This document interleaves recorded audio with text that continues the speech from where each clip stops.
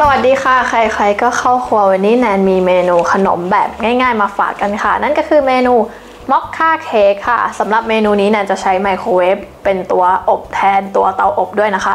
สำหรับเมนูนี้ถ้าใครชอบทานเค้กแล้วก็แบบทำง่ายๆเนี่ยทำในถ้วยกาแฟแค่นั้นเดี๋ยวเราไปดูวัตถุดิบแล้วก็ขั้นตอนในการทำกันเลยค่ะ ค่ะเรามาดูวัตถุดิบในการทำม็อคค่าเค้กแบบไมโครเวฟกันเลยนะคะ เริ่มด้วยนี่เลยค่ะ ไข่ไก่ค่ะ แป้งเค้กค่ะ เกลือค่ะ นมรสจืด น้ำมันค่ะ น้ำตาลทราย ผงฟู ผงกาแฟค่ะ อันนี้เป็นผงโกโก้ค่ะ แล้วก็เบกกิ้งโซดาค่ะสำหรับอัตราส่วนนะคะ สามารถติดตามชมได้ที่เว็บไซต์ของเราที่ foodtravel.tv ค่ะ เดี๋ยวเรามาดูขั้นตอนแรกกันเลยค่ะ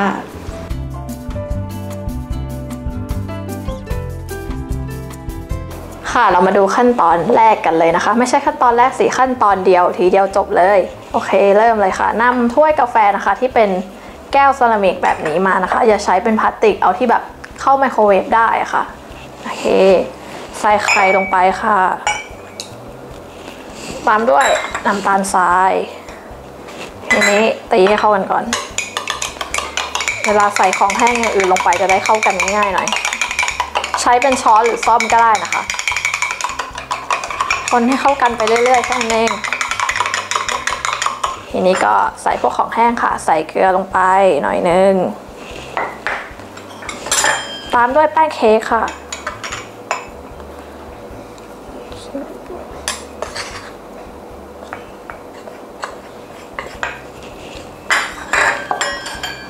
เบกกิ้งโซดาผงฟูค่ะ คนให้เข้ากันก่อนก็ได้ เดี๋ยวค่อยใส่โกโก้กับกาแฟ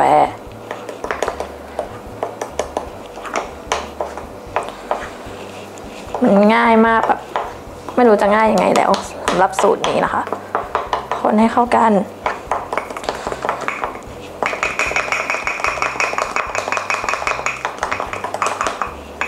ทีนี้เราก็ใส่ตัวผงโกโก้ค่ะ อันนี้มากน้อยตามชอบได้นะคะลดเพิ่มได้กาแฟด้วยเหมือนกันค่ะ ทีนี้ก็คนให้เข้ากันเหมือนเดิมอ๋อ ก้วเล็กไปหน่อย ไม่เป็นไร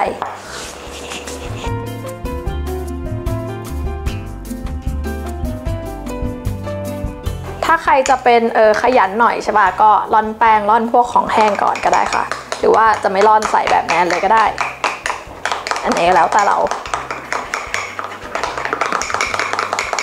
โอเคเมื่อเราเห็นมันเริ่มไม่มีเม็ดแล้วนะ เราก็จะใส่ตัวนมสดค่ะ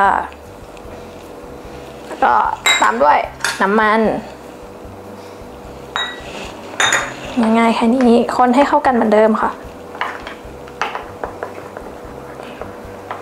แล้วเดี๋ยวเราจะนำเข้าไมโครเวฟนะคะ ประมาณ 40 วิถึง 1 วินาทีใครคะเอ้ยถึง 1 นาที 40 วินาทีถึง 1 นาทีนะ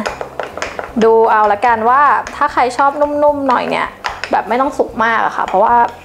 ก็สักประมาณ 30-40ถึงวิ แต่ถ้าชอบแบบแข็งๆ อยากวางท็อปปิ้งข้างบนเนี่ย ก็ประมาณ 1 นาทีก็โอเค นี่เดี๋ยวนายขอคนให้เข้ากันก่อน และเอาเข้าไมโครเวฟเลยค่ะ เดี๋ยวกลับมาดูกัน โอเคค่ะ อันนี้แนนก็นำออกจากไมโครเวฟเรียบร้อยแล้วนะคะ อันนี้แนนอบไปประมาณ 1 นาทีครึ่งนะคะ 1 นาที 30 วินาที เพราะว่าลืมบอกไปว่า ภาชนะอันนี้มันแบบค่อนข้างใหญ่ใช่ป่ะแล้วก็หนาหน่อยเลยอบนานนิดนึง ถ้าใครถ้วยเล็ก ๆ อย่างเงี้ยก็อาจจะ 40วิก็ได้ค่ะ อันนี้เดี๋ยวเราก็แค่มาตกแต่งเออลืมบอกไปว่าใช้ไฟแรงสุดนะคะ อันนี้เดี๋ยวเรามาตกแต่งตามใจชอบได้เลยค่ะโรยไอซิ่ง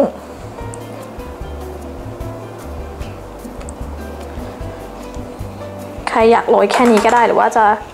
เอาเป็นโกโก้ด้วยก็ได้ค่ะ